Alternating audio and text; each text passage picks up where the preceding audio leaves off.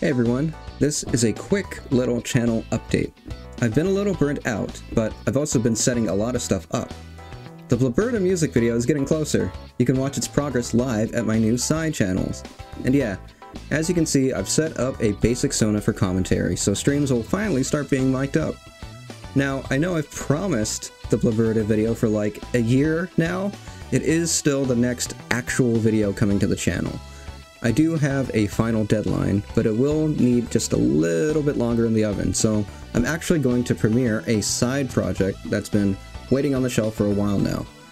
How to Be a Life Taker is a cursed mashup album, so if that's the kind of thing you're into, it is set to premiere tomorrow at 12.30 p.m. PST. Also, I made an Instagram where I'll post more behind the scenes stuff and personal stuff. I think that site kinda zucks, but I really need a place to post pics without any context, so yeah. Anyway, I don't have an outro, so here's all my Bloberta models rotating.